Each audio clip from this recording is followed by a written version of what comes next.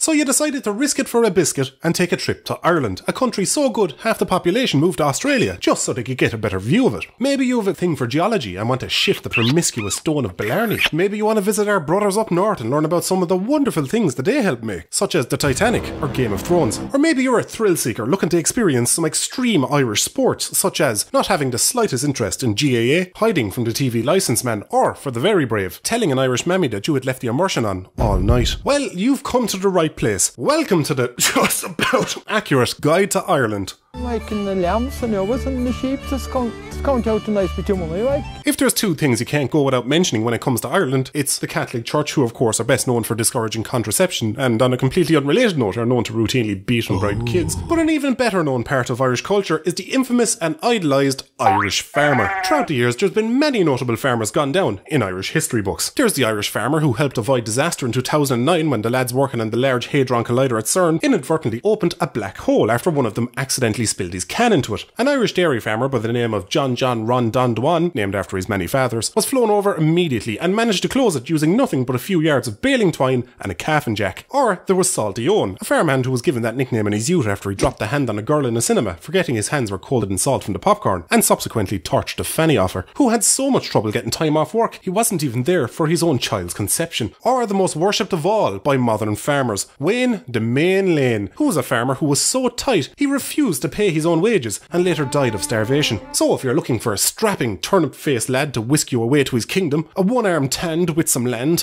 a bard with a yard, a fiend with a boreen, then look no further than your average irresistible Irish farmer. They'll afford you nothing less than glitz and glamour. It's a lifestyle of sucky calves, an irrational fearlessness in the face of one ton bulls, spuds for every meal, delicious, probably E. coli laced raw milk, working 12 hours a day, six and a half days a week, and an incredible ability to always smell like cow cream and shite, even after they've just showered. And if you think you'll be slogging through muddy fields in your brand new wellies, then you've thought wrong, because you'll be cruising through them fields in style in a Jeep more better than you'd be if you forget to have the supper on. So you're new to an Irish pub, or you've just straight up forgotten what it's like due to a lockdown that's been as long and as painful as the fifth toss of the day. But upon entering one, you might find certain things are quite peculiar, or even alarming. So to help you get ready for your first Irish pub experience, or to recondition you back in, let me run you down a list of things that at a glance seem strange, but I assure you are commonplace in an Irish boozing house. The first thing you'll notice upon entering is a thick layer of spilt liquid all over the bar. This is normal. It's not that most bar men and women always fail to wipe down their bars in Ireland for some reason reason, so you'll dip your arm or shirt sleeve into it upon ordering your first drink, giving off the false illusion to people that at a glance you're already smashed, making you as attractive to women as a crooked 2 inch broccoli flavoured knob. No, no, no. It's actually because Irish bars are constructed from a type of wood called hard man wood that comes from a type of ash tree native to Ireland called an urlock tree. And given the Irish climate, even when the ash urlock tree is cut down, it needs to be soaking wet in order to maintain its strength. There's a similar case to be found in pub bathrooms where bar owners will tactically use a thick layer of urine over the floor tiles as a protective barrier in case somebody has the audacity to piss on them. Another thing you may notice is the topic of conversations going on with the ladies. Women of Ireland going against a grain and coming to blows over who got the cheapest item of clothing. That could all be summed up with this. Christian Louboutin platform peep toe heels, 324 euro. Victoria's Secret Ultimate Bombshell Essential Makeup, 150 euro. The look on your friend's face when you tell them you talked your man at the door down to 20 quid. Priceless. There's some things money can't buy. For everything else, there's travellers. Irish men, of course, tend to resign their judgmentalness for what another man is drinking.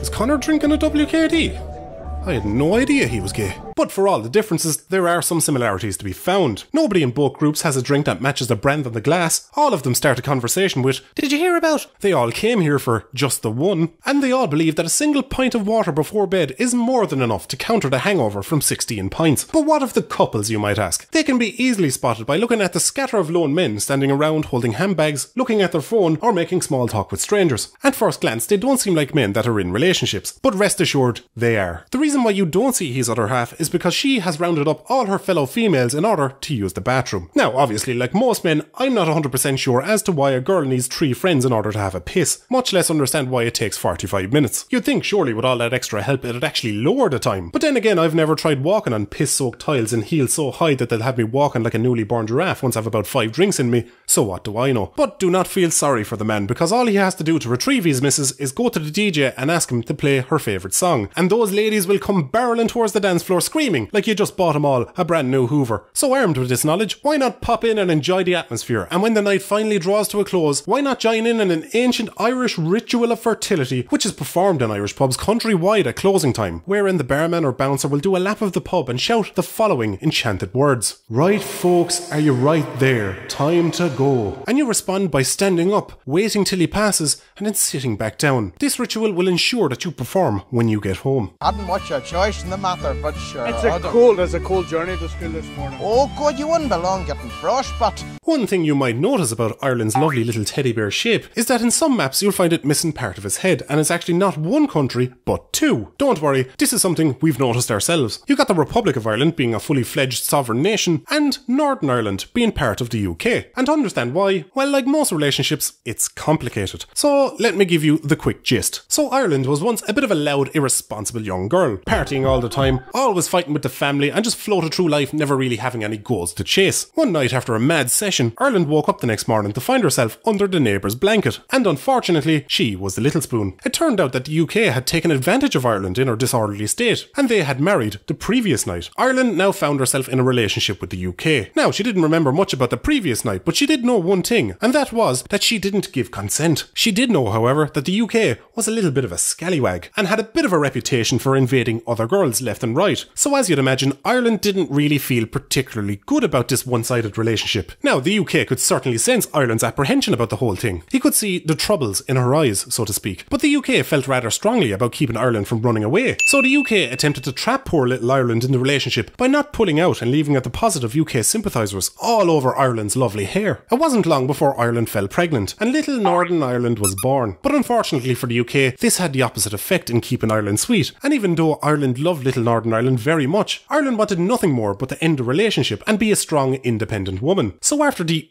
odd disagreement, it wasn't long before Ireland filed for divorce. Of course, Ireland being such a young girl, not really having her life together, and the UK being able to hire much better solicitors, the UK was able to keep full custody of little Northern Ireland, only allowing Ireland visitation rights. Unless, of course, the day comes when Northern Ireland decides it wants to move home. The divorce was finalised on a particularly nice Friday, and since then, Ireland and the UK have kept things civil for the sake of little Northern Ireland. There was some faffing about in recent years concerning the visitation rights as the UK decided to be awkward and leave our hometown to move away. In the end, an arrangement was made to keep the peace. But time heals all wounds, and given how long it's been and how much both countries have matured over the years, both of them often think that uniting and moving in together would make more sense, reconnecting the lands and finally becoming the ultimate craic centre of the world. But if for no other reason, be it just so I know what map to use for these videos.